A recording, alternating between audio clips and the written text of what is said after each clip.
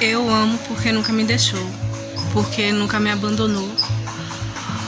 Eu amo porque ele sempre esteve ao meu lado, mesmo naqueles momentos em que eu não merecia. Eu amo por ser tão misericordioso, por ter me ajudado e por ter me ajudado a conquistar coisas que eu jamais, que eu jamais achei que eu conquistaria. Eu amo porque ele me amou primeiro. Eu amo porque ele viu em mim alguém que muitos não viram e que, sinceramente, até hoje eu não consigo ver, mas ele viu. Eu amo acima de tudo porque ele me faz ser uma pessoa melhor, uma pessoa mais amorosa, mais simpática, mais tranquila, uma pessoa mais feliz. Eu amo porque Deus é amor e todos os dias da minha vida ele me ensina a amá-lo cada vez mais.